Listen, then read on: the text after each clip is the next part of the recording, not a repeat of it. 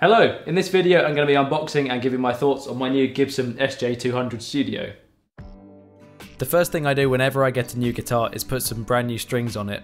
When I play it for the first time, I really want it to sound as good as possible so that I bond with the guitar quickly. While the strings were off, I also took the opportunity to polish the frets, as well as moisturise the fretboard. I got myself a tin of this Monte Presso guitar wax. It's basically fretboard conditioner which also has some dye in it that darkens the colour of the fretboard. The walnut fretboard on this guitar was quite dry when it arrived and the colour was quite light and I really like a dark fretboard on a guitar, so I used this relic wax to make it a bit darker which really helped. I'm recording this little insert about two weeks after finishing this video. After living with it for a bit, I still didn't feel like the fretboard was dark enough, so I ended up ordering some ebony wood stain.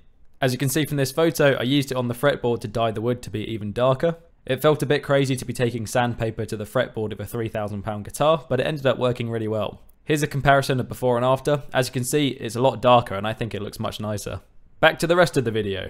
Then I also polished the guitar. Even though it's a new guitar, it had been sat in a shop for a bit, and you never know whose grubby fingers have been all over it. So I also made sure to give it a nice polish so that it was perfectly clean. In terms of specs, it's a Sitka spruce top with a walnut back and sides. The neck is made of mahogany, and the fingerboard is made of walnut. It's got 20 standard frets. It's finished in nitrocellulose, and the colour is called Walnut Burst.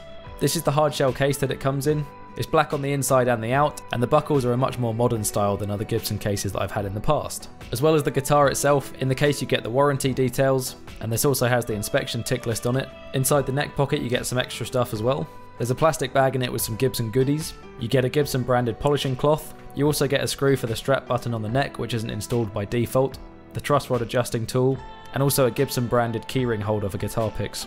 There's also the keys to the case in a small paper envelope, and they've also included one of the D'Addario hydration pack systems. I also separately purchased an official Gibson blank truss rod cover. I don't really like the ones that say studio on them, so I got rid of that. And once that was installed, the guitar was good to go.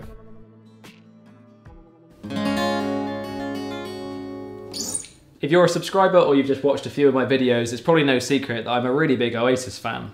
Most of my recent guitar purchases, like my Gibson ES335, was directly inspired by the fact that Noel Gallagher plays them. I have quite a few electric guitars now, but the only acoustic guitar that I've had for years was my Taylor GS Mini. I've played it in a few videos, it's a really nice guitar, and the thing that I like about it is it's really small because I'm only 5'7", so it's quite a comfortable guitar for me to be able to play because it's got a smaller body. However, the more I watched videos of Noel playing, both live and behind the scenes videos and stuff, the more I realised I really liked the sound of his guitar. The specific model of his is an SJ150. It's kind of a hybrid between an SJ100 and an SJ200. And Gibson don't really make them anymore. They recently did a very limited custom shop run of about 200 of his specific artist signature model guitars. But unfortunately, as well as being very limited, those guitars came with a five figure price tag, so it wasn't really something that I considered buying. And then recently when I started getting the bug again, I started looking at the price of a normal SJ200. The top of the line SJ200 comes in at about £5,000, which again I think is quite a lot of money, especially because I play acoustic less than electric. And then as I was browsing I realised that Gibson do studio versions of the SJ200 as well. This guitar actually really suits what I was looking for because the studio versions don't have binding or anything that makes the full fat SJ200s a bit more flashy and expensive. Noel's SJ150 signature model doesn't have any binding either, so this was actually quite close to what I was looking for.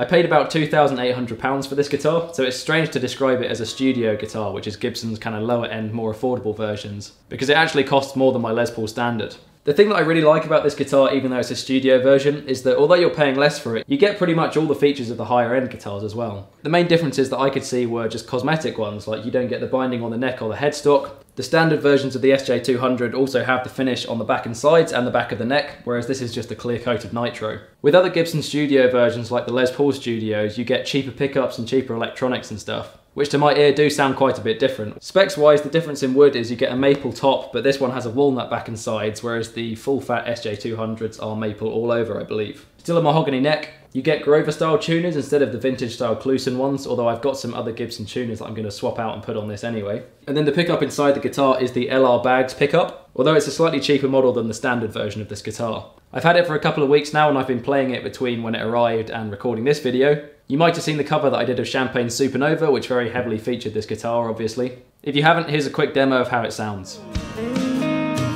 Wake up the dawn and ask her why dream a dream, she never dies Wipe that tear away now from your eye I think it fit the part perfectly. It sounds very similar to Noel's guitar, which is exactly what I was after. The big body just gives it so much bass end that my Taylor GS Mini didn't have. I think it's fantastic and it makes for a really great recording guitar. So now to wrap up the video, I'm just going to do some strumming and show you how it sounds.